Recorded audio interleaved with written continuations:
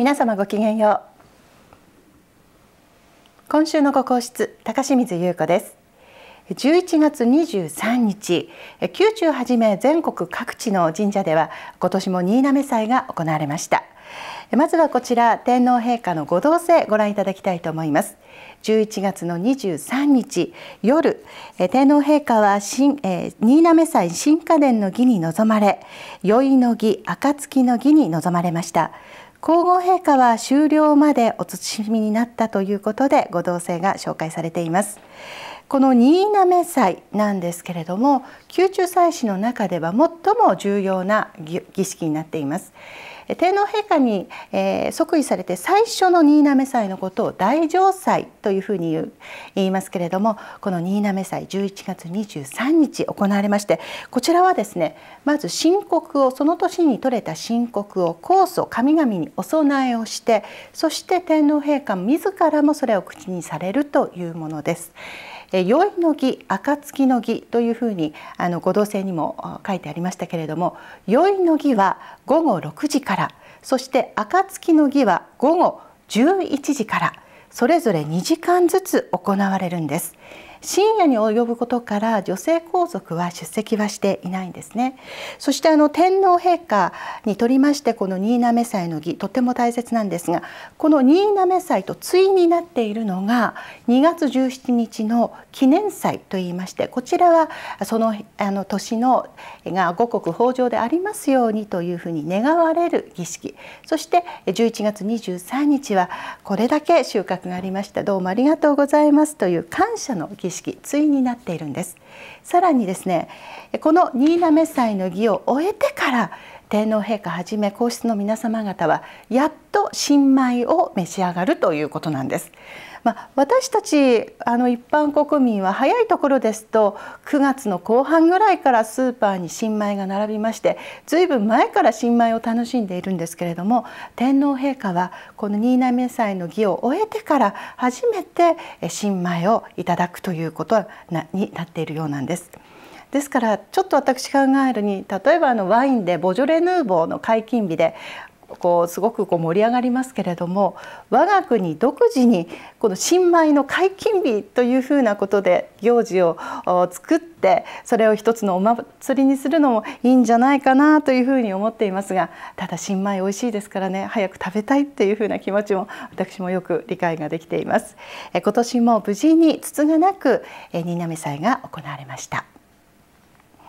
そしてこの後皇室では年末にかけましてお誕生日が続くんです。ちょっとこちら今後のスケジュールということで私まとめました。11月30日来週は秋篠宮皇嗣殿下のお誕生日。翌日の12月1日には天皇陛下のご長女年宮愛子内親王殿下のお誕生日。9日には皇后陛下のお誕生日。20日は三笠宮家の秋子女王殿下のお誕生日。さらに12月23日は平成の時代は天皇誕生日でした。上皇陛下のお誕生日。さらに年末29日秋篠宮佳子内親王殿下のお誕生日というふうに続きます。特に注目点今年は12月の1日年宮愛子内親王殿下20歳のご成年を迎えます。そのご成年の行事につきましては1日ではなく5日に行われるということなんです。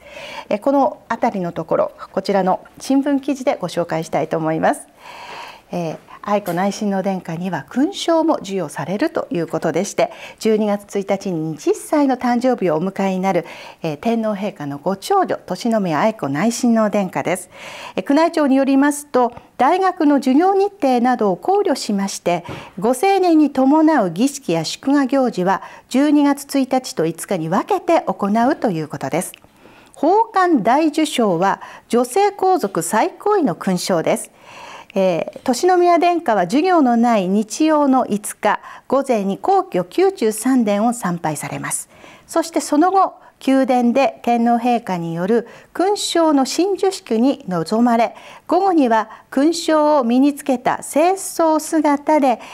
天皇皇后両陛下それから上皇上皇后両陛下に挨拶をされます。新型コロナウイルス化のために祝宴や茶会は行いません。女性皇族は青年に際しまして儀式で身につけるティアラ。こちらを新調する慣例があるんですけれども年宮殿下は両陛下とも相談された上でコロナ禍の国民生活への影響を考慮して新調されるのは見送られました。そして上皇陛下のご長女黒田清子さんがお使いになったティアラを借りて着用されるということが明らかになっています。いつでも私たち国民に心を寄り添われているそういう気持ちも伝わってきます。そしてつい最近ですとご成年の儀式ということになりますと、えー、秋篠宮家の次女過去内親王殿下のご成年の時の儀式どのようなことが行われるのかこちらで特集していますのでちょっと写真も交えてご覧いただきたいと思います。まずですねこちらからえ勲章付けになりましてこちらの向かって右側の写真はえティアラと勲章付けになった過去内親の殿下です。通常ですねご成年をお迎えになりますとあの初めての記者会見に臨まれるんですけれどもこちらもう一つのこう隣のページの方になりますとはいこちらではあちょうどご成年を迎えられての記者会見ということで笑顔の過去内親の殿下のお写真載ってますが今回えー、年宮殿下の場合は記者会見につきましてはもうちょっと後になりそうです。どのようなことを語られるのかとっても今から楽しみです。さらにですねご成年になりますとですねはい。いろいろなあの行事にも臨まれるんですがちょうど朝見の儀を終えられましてこちら、えー、お外にお出になった過去内親王殿下の、まあ、写真です。美しいですよね。え、この上着をこう着ていらっしゃるんですけれども新年祝賀の儀の時にはやはり女性皇族の皆様は第一清掃で参加されますのでその様子もちょっと写真でご覧いただきますね。はいこちらです。えティアラにローブデコルテそして勲章を着用された女性皇族の皆様方が新年祝賀の儀にはこのようにお揃いになって、えー、お出ましになるわけです。さらにご成年になりますといろいろな、まあ、参拝あのお参りに行く行事などもありましてまずこちら武蔵野の御陵においでになりましてご成年になりました成年を迎えましたということをこちらは昭和天皇光順皇后の御陵光順皇后の御陵のあります武蔵野の御陵を参拝した時の様子です。それからですねこちらだけではなくさらには伊勢の神宮のこちらは下宮を参拝された時の様子です。それから内宮を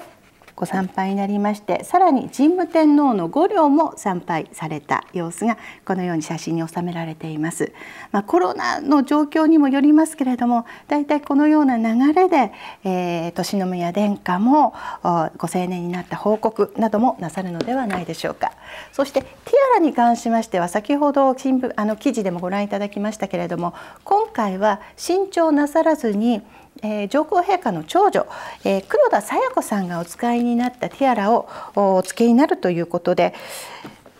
ちょうどですね、えー、黒田清子さんのティアラどのようなティアラなのかと言いますとこれは結ご結婚の時に朝見の儀でお出ましになった時の黒田清子さんなんですけれどもはい、ドレスに勲章付けになりましてロブデコルテに、勲章付けになってティアラをお召しになっています。えこの正面からえご覧になりたいですよね、え写真ございました。はい。こちらです。ちょうどこちらのお写真になるんですけれどもこちらのティアラです。あ通常あのこのティアラに関しましてはあの宮廷費でまあ、国の予算で、えー、作られることが多いんですけれどもこの黒田清子さんのティアラに関しましては当時ご両親がお手元金でお作りになったということで現在このティアラは黒田清子さんの手元にあるということでそれを借用されて今回、えー、年宮殿下がご成年の儀式の時にお付けになるということです。